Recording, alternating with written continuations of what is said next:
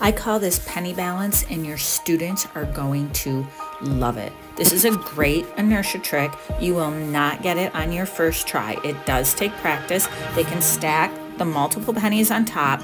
Couple tips with that, the pennies too tend to kind of tip over when they are stacked like that. But I encourage you to have them try it because more mass does increase the chances of them getting the trick if they are doing a nice straight shot.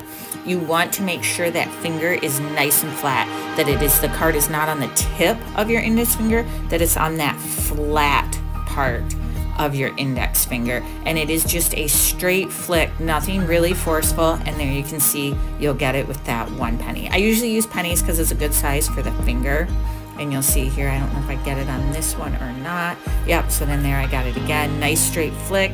They just have to trust themselves. You can try quarters. I find maybe the size does topple over a little bit.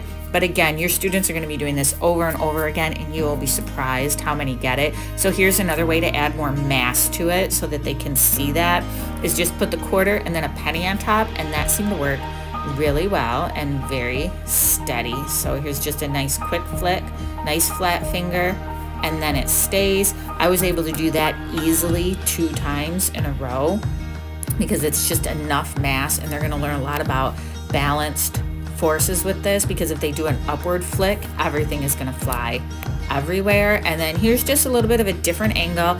And this is a little trick I did, a little bit of cheating.